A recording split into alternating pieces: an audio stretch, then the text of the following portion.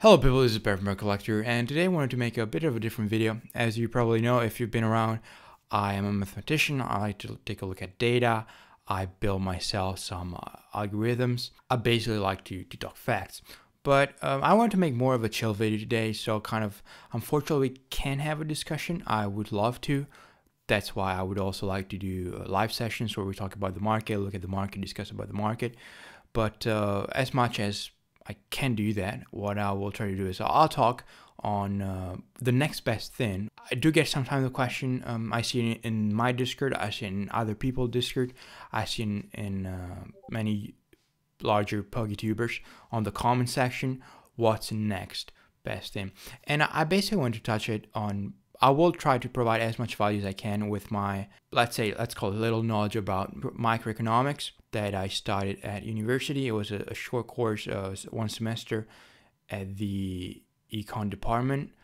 Good times, and uh, it did help a little. But um, nonetheless, I just, uh, again, I would like to have a discussion, so um, the comments will be more than welcome. And as you can see, we also start to take a look at a few Pokemon products, and you'll see in, in a moment why. I first need to basically talk you through it, talk you into it, and uh, see wh where my point is. So the next best thing is you know, I hear, as I said, I hear it, I see it a lot. And uh, what I think, and I don't think this is just really, I mean, my th- thought is, my opinion is, if you're looking, if you're chasing for the next best thing and you don't see it, it just simply means you don't see it. So when you want to buy something, um, and, and this doesn't apply to, to, to Pokemon, it, it applies to uh, any market obviously the, the most notorious one would be the stock market.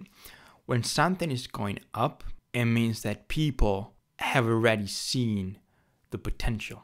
Let's, you know, let's take, as you can see here, uh, the Tina from Lost Origin. You have this price charting. It's actually re recently discovered this uh, website. So in red you have PSA 10 and in blue you have the raw copy.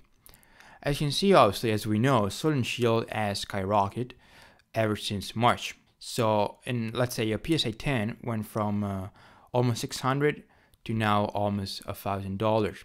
So that's what a 35, 40, 35% move in uh, two months. That's a lot. And uh, if you know what basically this this triggers, and uh, you could argue this all started with uh, Evolving Skies, and uh, basically th this triggered the Sword and Shield. Let's let's call it chain you know, you had uh, the Tina, the Tempest. Sorry, I meant the Lugia, not the Tempest.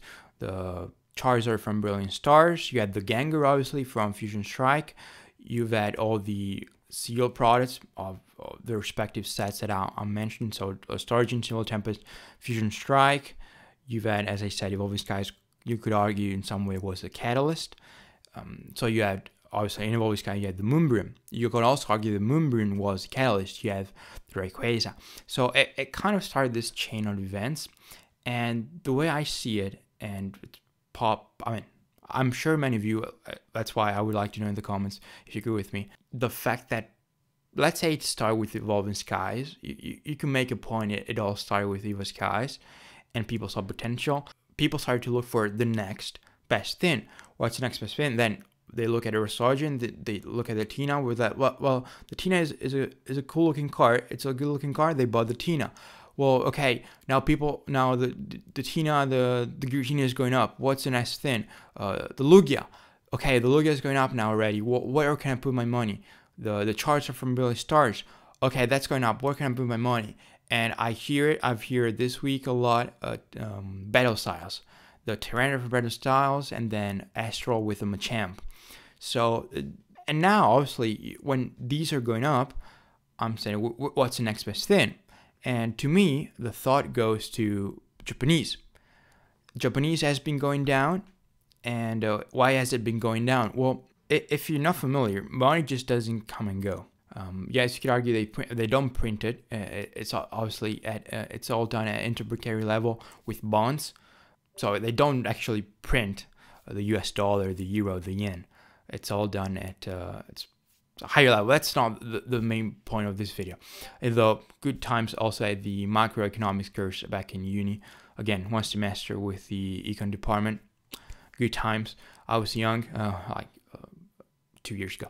Um, so actually, um, you know, money doesn't come and go. If it goes out somewhere, to move into some some somewhere else. So you can argue, and it's possibly true, it went out of Japanese.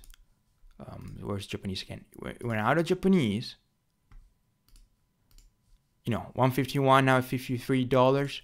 Uh, VSTAR Universe at 47 when it was like 100, and obviously we know what happened with 151. So it's going out somewhere and into someone else. Now it's also possible, I don't know, it's going out of crypto, it's going out of different uh, assets and it's going into Sword and Shield. That's also possible. But money doesn't disappear, it moves. So if you're looking for the next best thing, I wouldn't look for what's going up. I would look for what's going down. Now, the catch is when you look for what's going down, the problem is that it can keep on going down. So you can either and I, this is all about risk aversion, in my opinion. It's all about how you tolerate risk. If something's going up, it can go up, just like it could go back down. If something is going down, it could keep going high, down, or lower, or it could turn higher. Now, it's if you can, in a way, and you can try to do it as much, uh, you know, mathematically, so you can try to quantify it as much as possible. The risk, if you can, if you're able to quantify the risk, as much as you can with the tools you have available, then it's all about risk aversion, in my opinion. You can try to look for the next best thing, even though you think it's the next best thing, but it's actually it's already gone. Or you can try to look for the next best thing and what no one else is looking at. And a good example, as I also said in my last video, was the Groudon from Paradox. That car was $20 and 20 euros in the European market. I bought it um, and I actually have it. Wait a second. I realized in the video that I did say that I bought it, but I actually didn't show it. So obviously you think I didn't. So that's it. That's Groudon's. So I bought it back when it was 20 euros. And why did I buy it? Well, because nobody wanted it. Nobody wanted it, and that was that's why it was 20 euros. Now everyone want, wants it, and it's $45 in the US, and uh, it's now a 30 euro card in the EU and with the bot, the Cardmarket bot that I developed, the supply in the European market, and that's a good estimate also for what's going on in, in the US, the supply went from 130 listings, English listing near Mint last month. Today there were 47. So a third. That's what happened. And, uh, you know, it, it, if something is pricey, is because people have already seen potential.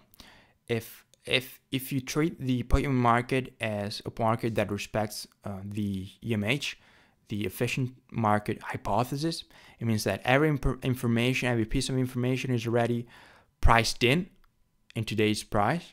Then there's no place. Now, luckily, that's not what happens. That's how you can make plays because demand shifts. So as demand shifts, information shifts, and obviously that's you know why cards go up and down.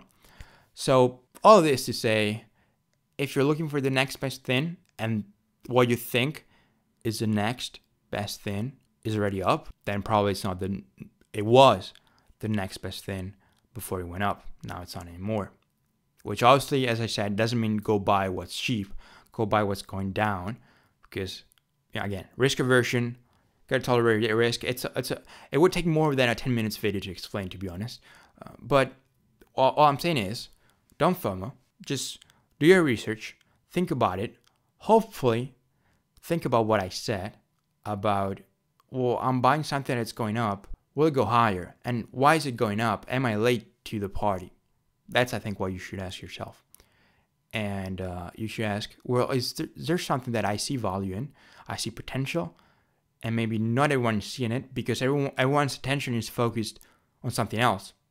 So in shield, which again, I'm looking at one obviously 151 are now on on the screen.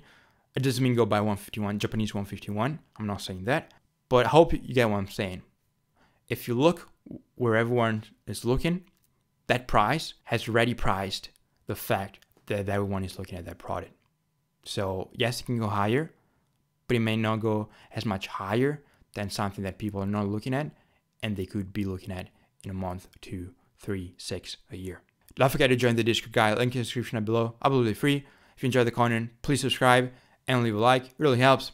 Thanks for watching, and I'll see you in the next one.